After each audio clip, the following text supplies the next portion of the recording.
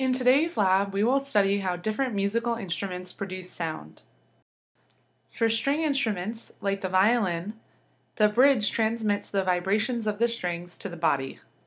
The body then vibrates, creating sound waves. Let's take a look at the Fourier spectrum for a violin. We can pluck one of the fatter, heavier strings to produce a lower frequency sound, or pluck one of the thinner, lighter strings to get a higher frequency sound. Using a bow instead of plucking the violin string will produce a different Fourier spectrum. We can compare the sound produced by using a bow to play a string to plucking the same string. These two oscillations have different wave shapes, but have the same period. Moving a bow across the string produces sound via stick-slip phenomenon.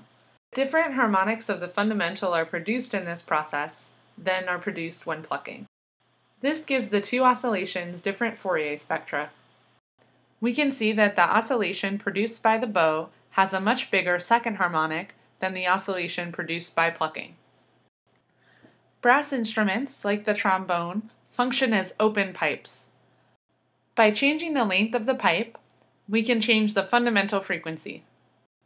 In the case of the trombone, this is done by moving the slide out. A bigger length makes a smaller or lower frequency.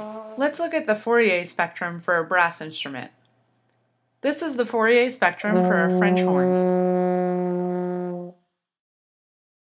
Like the trombone, you can change the pitch of the French horn by changing the length of the pipe. This is done by opening and closing the valves. A recorder is another example of an instrument that is an open pipe.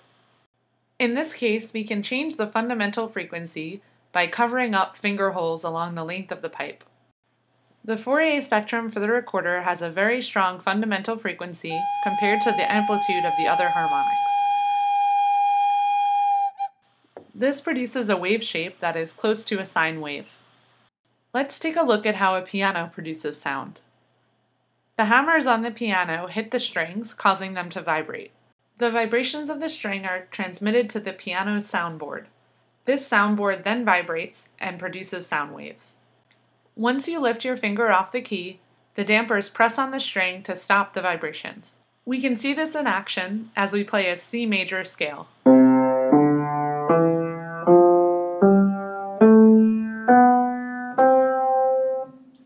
We can also take a look at the Fourier spectrum of the piano. As we go up an octave, the Fourier spectrum changes. For D4, we get all multiples of 293 Hz, while for D5 we get multiples of 587 Hz, which is two times the frequency of D4. When we play d6, which is 4 times d4, the strongest peak in the Fourier spectrum is at 1175 Hz, or 4 times d4.